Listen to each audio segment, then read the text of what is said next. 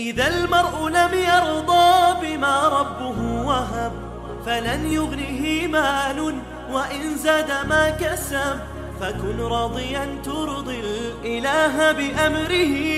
فدرب الرضا نور ونبت الرضا ذهب. وكن راضيا لا تسخطن لشدة كما الشوك لا يعطي الرحيق ولا العنب.